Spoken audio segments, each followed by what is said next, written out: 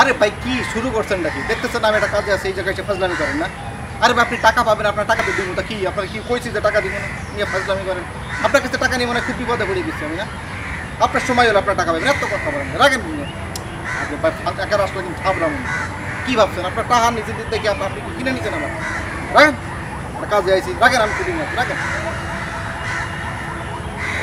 দর্শক মন্ডলী, এই পৃথিবীতে অনেক মানুষ আছে, খুব এরকম ঝগড়াটি কিন্তু বিশ্বাস করেন আমি একটা খুব নিরীহ একটু মানুষ। ঝগড়া টগড়া একেবারে আমি করতে পারি তবে একটা গল্প দিয়ে শুরু করি।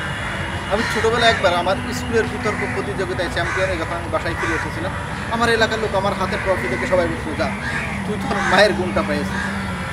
দেখেন, দর্শক মণ্ডলী, আমাদের দেশে কিছু মানুষ কিন্তু প্রচণ্ড করে ঝগড়াটা আর এর জন্য কি বলে? যে বাপের গুণ পেয়েছে বা মায়ের গুণ পেয়েছে। আর আরেকটা কথা, এই ঝগড়াটে যারা উৎপন্ন করে, তাদের কথা না বললেই নয়। বাংলাদেশের বিভিন্ন স্কুল, কলেজ এবং টেলিভিশনে বিতর্ক প্রতিযোগিতা হয়। বিতর্ক প্রতিযোগিতার মাধ্যমেই কিন্তু বাংলাদেশে এই ঝগড়াটের সৃষ্টি আর বিশ্বাস করেন ভাই, এই যে সব ঝগড়াটের কথা বলতেছি না এইসব ঝগড়াটেরা ঝগড়া প্র্যাকটিস করার একটা সুযোগ পেয়েছে লোকাল বাসে লোকাল বাসে চড়ে চড়ছেন কখনো? আর যদি না চড়ে থাকেন, বিশ্বাস করেন আপনি লোকাল বাসে চড়বেন, আপনাকে ঝগড়া একেবারে হান্ড্রেড পার্সেন্ট প্র্যাকটিস আপনি করতে পারবেন। লোকাল বাসে আপনি যখন উঠতে যাবেন, দেখবেন নির্দিষ্ট স্টপিতে আপনার বাস থামবেন, আপনাকে অনেকটা দৌড়ে যেতে হবে। আর যদি হন আপনি মহিলা মানুষ, আপনাকে মনে করেন ওঠার সময় হেল্পার আপনার গায়ে হাত দিয়ে উঠাবে, তখন কিন্তু শুরু হয়ে যাবে হেল্পারের সাথে একটা ঝগড়া। তারপর উঠলেন, আপনি কাছে কী দেখলেন? আপনার সিটে মহিলা সিটে বসে আছে কোনো পুরুষ মানুষ, সেই সেইখানে ওই পুরুষের সাথে আর একজন ঝগড়া শুরু হয়ে যাবে। তারপর আপনি যখন ভাড়া দিতে যাবেন, ভাড়া দিতে গিয়ে দেখবেন আবার ঝামেলা শুরু।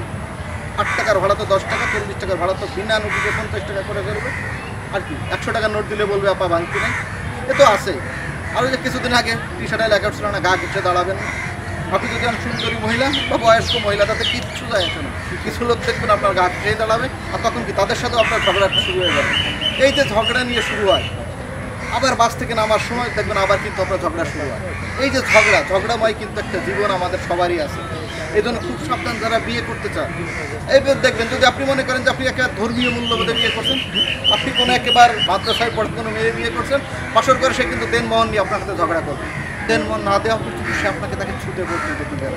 আবার যদি মনে করেন আপনি বড় লোকের কোনো মেয়ে বিয়ে করেন, তাহলে বাসরটা দেখি, ডায়মন্ডের হার অথবা দামি গাড়ির চাবি ছাড়া সে আপনাকে ছুটে দেবে না। এখানে এক প্রকার ঝগড়া শুরু হয়। কী ভাবছেন? ঝগড়া ছাড়া কি আপনি এই পৃথিবী থেকে চলে যেতে পারবেন? এত সহজ না।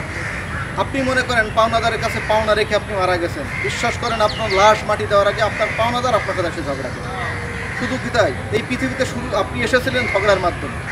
আপনি ছেলে হবেন নাকি মেয়ে হবেন, এই নিয়ে আপনার বাবা মা আপনারকে নিয়ে অনেক দিন যাবত যখন ঝগড়া করল, ঝগড়া করার পর কি ডাক্তার কাছে যখন আলট্রাসাউন্ড করলেন, জানা হলো আপনি ছেলে হবেন, তখন কি? তখন হয়তো আপনার মা খুশি হয়েছে, আব্বা খুশি হয়নি। বা আব্বা খুশি হয়েছে, দাদা খুশি হয়েছে, হয়নি, বা দাদা খুশি হয়েছে, দাদি খুশি হয়নি। এই যে ঝগড়ার মাধ্যমে, শুধু কি তাই? যদি মনে করেন যে কোনো সরকারি হসপিটালে যদি আপনার জন্ম হয়, তাহলে আপনাকে জন্ম দিতে গিয়ে নার্স এবং ডাক্তারদের সাথে আপনার বাবা মায়ের প্রচণ্ড আকারে ঝগড়া করতে হয়েছে। আর যদি প্রাইভেট কোনো হসপিটালে আপনার জন্ম হয়, তাহলে নিশ্চিত থাকেন, এই প্রাইভেট হসপিটালে বিলগুলো দিতে গিয়ে এক প্রকার ঝগড়ার মাধ্যমে শুরু হয়েছে। তাই দর্শক মন্ডলী, মনে রাখবেন, জীবনে চলার পথে সব জায়গায় আপনি কারেন্টের বিল দিবেন, ওইখানে দাঁড়ানো নিয়ে দেখবেন ঝগড়া ঝগড়াময় হচ্ছে আমাদের এই বাঙালিদের জীবন। ঝগড়া ছাড়া আমরা চলতে পারি না। সবসময় একটা ঝগড়াতে ঝগড়াতে একটা ভাব। এই যে সারাদিন আপনি অফিস করে বাসায় ফিরবেন, আপনার সুন্দরী প্রিয়তমা, আপনার জন্য একেবারে কি লাল টুকটুকে শাড়ি পরে দরজা খুলে বসে থাকবে? এই আশা করে একেবারে রেখা। মনে করেন আপনি বাসায় ঢোকার সাথে গেটটা খুলে প্রথমে আপনার বউ একেবারে ছাড়িয়ে দিয়ে ঝগড়া শুরু করবেন। তোমার আসতে এত দেরি হলো, এতক্ষণ কইছিলাম কোন মায়ের পিছনে পড়েছিলাম বাসের কোন মায়ের কাছে ছিলাম আর যদি মনে করেন যে আপনার কলিগের একটা চুল আপনার জামাই থাকে, তাহলে তো মনে করেন যে একেবারে কুরুক্ষেত্রের যুদ্ধ শুরু হয়ে যাবে। কিন্তু ঝগড়া ছাড়া। খাবার টেবিলে যাবেন। মনে করেন যে আপনার প্রিয়তমা স্ত্রী, ভালোবেসে তাকে বিয়ে করে চল্লিশ বছর সংসার করছেন, খাবার একটু লবণ বেশি হয়েছে, এই কথা যদি আপনি বলতে পারেন, দেখবেন তুমুল ঝগড়া, শুধু কি তাই? আনন্দের দিনে দেখবেন ঝগড়া।